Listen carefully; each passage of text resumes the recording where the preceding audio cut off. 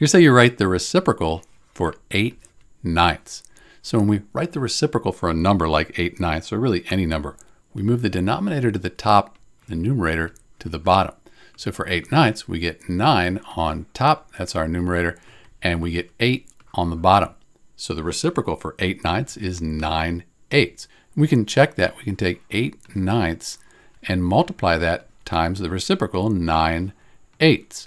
And when we do that, if we did it correctly, we get 1. So 8 times 9, that's 72. 9 times 8, that's 72. 72 divided by 72 equals 1. So we did this correctly.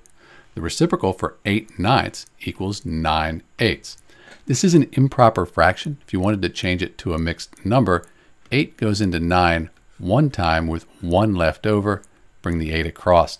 So 1 and 1 eighth that's the same as 9 eighths. You can check that too. 1 times 8, that's 8. 8 plus 1 is 9. Here's our 9. And we just keep the denominator the same. So Dr. B finding the reciprocal for 8 ninths. The answer 9 eighths or 1 in 1 eighth. Thanks for watching.